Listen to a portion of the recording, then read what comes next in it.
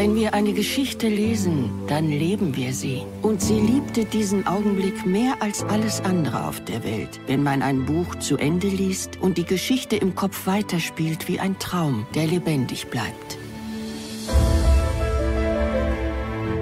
Sie leben alleine, nicht wahr? Und sind in das alte Haus gezogen. Ja, ich habe eine kleine Buchhandlung eröffnet. Kaum einer hier findet die Vorstellung gut, dass sich das alte Haus in ein Geschäft verwandelt. Das verstehen Sie doch, hoffentlich.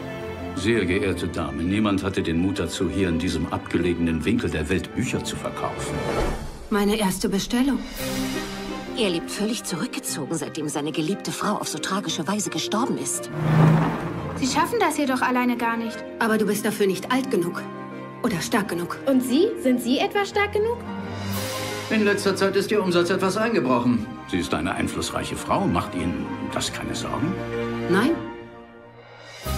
Viele von uns finden, es sollte eine Stätte für regionale Kunst sein. Sie will sie loswerden und gibt nicht auf. Das kann sie nicht tun.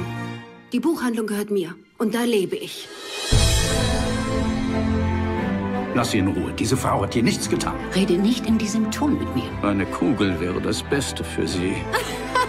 Es hat sich ein Käufer für Ihren Laden gemeldet. Sagen Sie ihm, ich verkaufe nicht. Du bist dann erfolgreich, wenn du alles gibst, was du hast.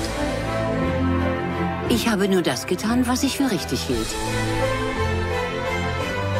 Sie haben mir den Glauben wiedergegeben an vieles, was ich für verloren hielt.